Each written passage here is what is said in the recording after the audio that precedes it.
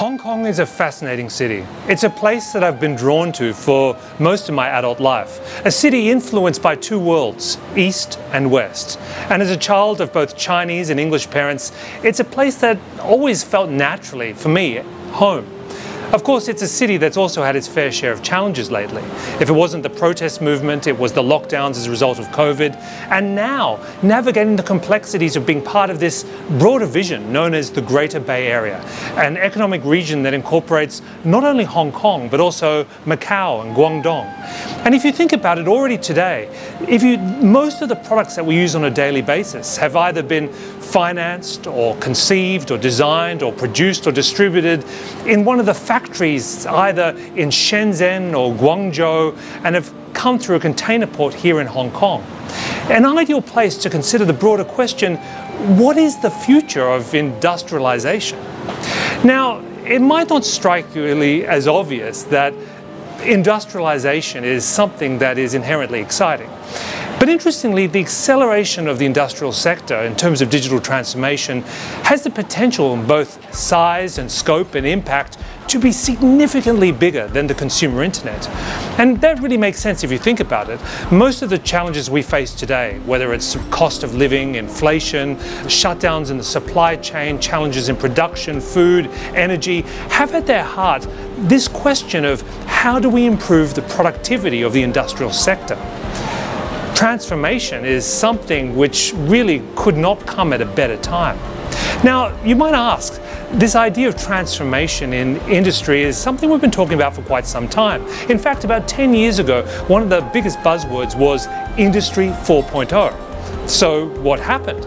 I mean, Industry 4.0 was this idea that suddenly all the, the heavy machines of the industrial era should be transformed with more data, artificial intelligence, and automation, giving way to not only much more productivity, but the ability to not only mass produce, but to micro personalize. To see this in context though, Industry 4.0 was really a kind of a industry plan for Germany. In fact, the Mittelstand, which is the middle, medium enterprises or the hidden champions of Germany, which were family or private owned and tended to be highly focused on quality and international export, have for long not only employed over two thirds of uh, uh, workers in Germany, but have been really the heart of the German economic miracle. But of late, that sector has struggled. It's been slow to embrace digital transformation, and although they invested heavily in automation, quite frankly, their machines were not able to talk to each other. So when you think about the broader challenges now to industrialization, whether it's here in the Greater Bay Area or in Germany, this idea of how we improve the way we make and distribute things is really a fundamental question. But where do we go from here? If you think about it, one of the biggest problems has been the question of scale.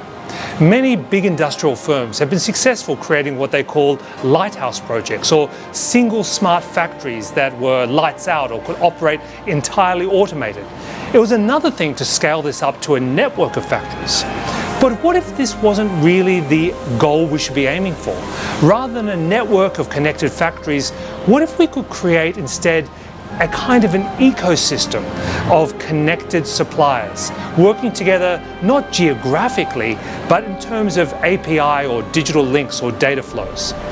Actually, there's been a model for this in the past. If you look post-war Japan, one of the most successful industrial structures was something known as the Keiretsu, which was uh, really a network of suppliers that were tied together with cross-shareholdings. And if you look at the height of this, which was really maybe Toyota at its peak, its Keiretsu was able to succeed and win not only in terms of cost savings and engineering innovation, but the tacit knowledge that was really built through years of trust and sharing of information and data, the ability to not only innovate but solve problems at scale. Now, of course, this model struggled as we moved into the 21st century. But it does raise the question, what might a 21st century digital Keiretsu look like? Organizations that may still be small or medium in scale, but connected with data, automation and smarter workflows, able to collaborate not just bound by geography, but connected by their digital missions and capabilities. So when you look at it this way, I think we're really at a very interesting point where in places like this, the Greater Bay region or in Germany or places in India, we're really seeing a race to reinvent the very spirit and DNA of industrialization.